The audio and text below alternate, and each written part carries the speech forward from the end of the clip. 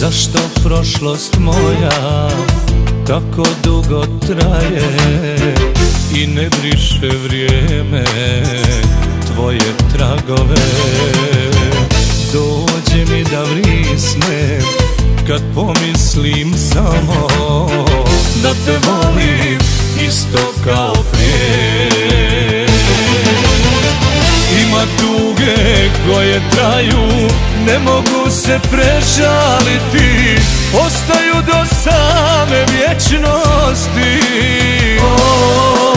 I ljubavi koje nikad Ne daju se preboljeti A ta ljubav moja To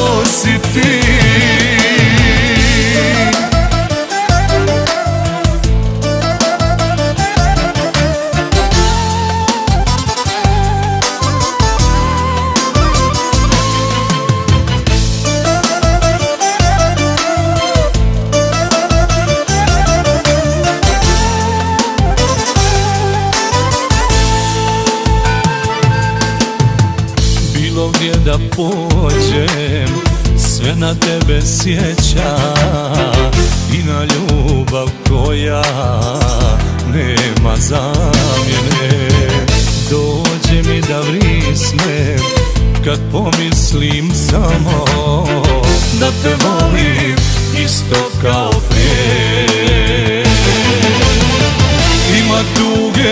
koje traju Ne mogu se prežaliti Ostaju do same vječnosti. I ljubavi koje nikad Ne daju se preboljeti A ta ljubav moja To si ti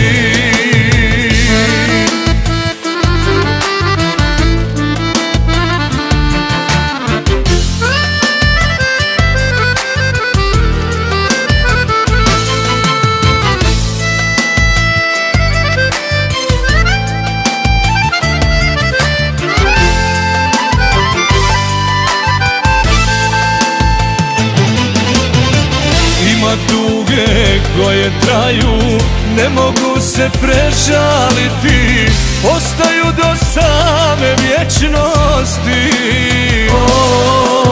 I ljubavi koje nikad Ne daju se preboljeti A ta ljubav moja